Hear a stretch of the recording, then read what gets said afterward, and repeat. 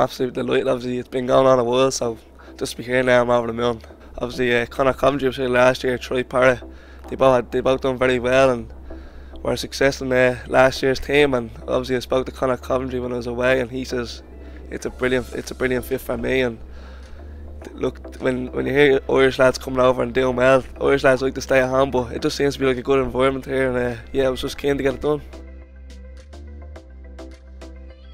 Ireland's great and we do love Ireland, but you have to challenge yourself and come over to England. It's a new country, but this is where the rewards are, this is where the best leagues are and the best players. So yeah, I'm just looking forward to getting going now and uh, challenge myself against against other teams and uh, looking forward to getting going. Yeah, I just like to get the ball, get the ball at my feet and just go at defenders, uh, goals and assists. That's what I want. That's that's what uh, gets the fans going. So now I hope to be able to excite the fans during the season and uh, yeah, get a couple of goals in uh, the MK shirt uh, soon.